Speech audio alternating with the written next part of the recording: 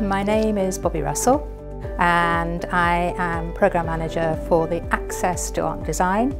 At the overview of the course we are giving a whole range of different workshops. I mean that can be anything from starting off with 2D drawing, looking at colour theory and they have the introductory project. So students who will do the Foundation Diploma course, they can get an extra year after their A-levels. With the Access course, we appeal to adults from about 18 upwards and sometimes they can be in their 60s, which is absolutely fine. And they come into our course because they would want to go on to a university course. We can give them a full background education here that really prepares them for going on to do a degree.